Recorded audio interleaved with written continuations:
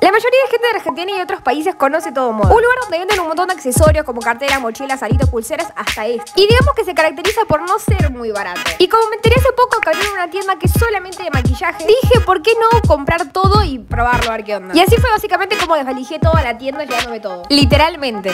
Así que acá estamos. Hola a todos. Tengo de todo acá adentro, dejé un riñón en esto, quiero que lo sepan. Pero bueno, lo importante en esto es, ¿vale la pena o no comprar maquillaje en todo moda? Vamos a comprobarlo. Vamos a intentar hacer un look completo de todo, no sé si va a salir bien. Para empezar con esto tenemos tres mascarillas, no sé por qué tres y no una sola, pero bueno. Esta mascarilla de acá supuestamente es una limpieza profunda y es de Peach. Y estos dos de acá son dos mascarillas de arcilla, una para el pelo y otra para la cara. Para las dos hay que esperar 15 minutos. Bueno, me parece que me voy con la de arcilla porque me parece extraño nada más, por eso. Vamos a abrir esto. ¿Por qué carajo esto es verde? Como que tiene una sensación medio como pastosa. No hay tanto presupuesto para tener las cosas para aplicar. Así que vamos a hacerlo con los dedos. Yo ya tengo la cara limpia. Limpia. Ponele. Digamos que este es un desastre. Tengo en todos los pelos. Bueno, vamos a esperar 15 minutos y ahora vengo. Volví, me la voy a retirar y ahora les muestro si se me salió un pedazo de cara o está todo bien.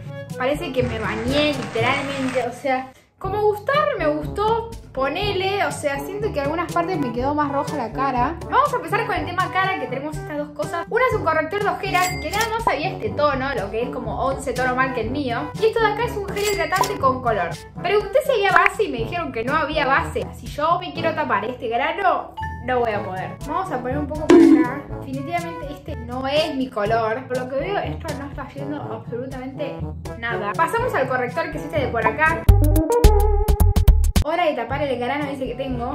Un poco por acá. Algo así quedó tema corrector y es hidratante extraño. O sea, raro. No me cubrió casi nada. Podría haber quedado mucho peor. Siguiendo con el tema de la cara, no tengo ni bronzer ni rubor. No porque no compré, sino porque tampoco había. Así que tenemos esto de acá, que es un labial hidratante en crema. Y vamos a usarlo como si fuera un rubor. Voy a tratar de ponerlo muy poquito porque miren lo que pigmenta esto. O sea, no quiero tener la cara roja. Creo que me acabo de ir a la mierda. Un poco de este lado. No, no, no, no, no.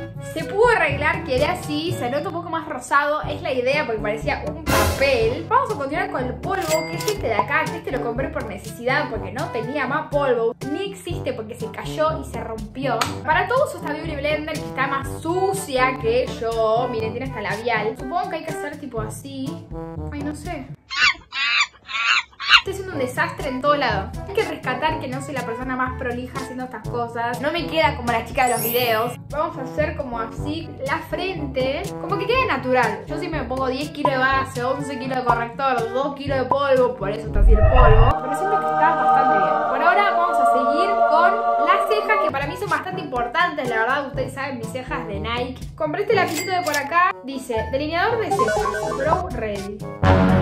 A ver por acá el color. La verdad que no sé qué pensar. Yo uso esto para peinarme las cejas. Igual puedo usar lo que sea. Hasta cepillos de dientes puedo usar. Yo lo he hecho. Vamos a peinarnos las cejas así.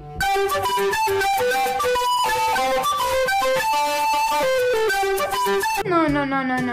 Están terriblemente marcadas. Parece que me las pinté con marcador indeleble. Tema sombras, tenemos estos tres productos. Primero esta paleta que tiene estos colores. Por otro lado esta más chiquitita, casi la rompo. Y por último esta que es la que más me gustó a mí. Es así como de brillitos. Vamos a hacer unos swatches como me enseñó mi madre, Rosy My Para pigmentar esta paleta sí pigmenta, o sea, pueden darse cuenta. Paleta chiquita de por acá, acá están los colores. No sé por qué me los puse en este brazo. Y por último este que es de brillitos, que supongo que sí, funciona.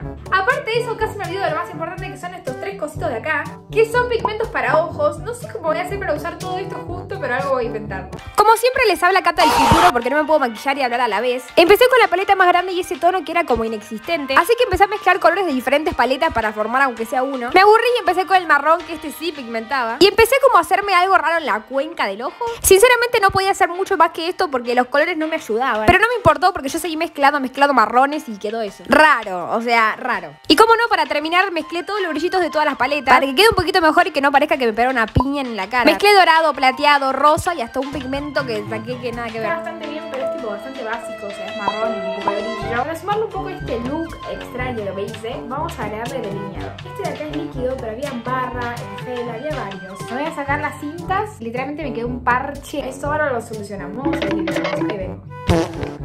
Algo así me quedó el delineador, la verdad que no sé qué opinar al respecto. Sinceramente el delineador me encantó, me hace acordar mucho del que uso yo. Que miren lo que es esto, ya no da más, boludo, está todo seco. Para pasar al tema rímel tenemos todo de acá. Este de acá se llama Soy Extra Lash y supuestamente da volumen. Y tiene dos partes, así que vamos a abrirla. Así es una parte, creo que tiene pelo ahí todo. Y por este lado tenemos esta de acá, también para volumen básicamente. O sea que compré dos cosas iguales. Qué bien. Esta viene cerrada, la otra no. Raro. Lo que sí noto es que como que se me pegan bastante las pestañas. Para las de abajo voy a usar este pincel que es más chiquito.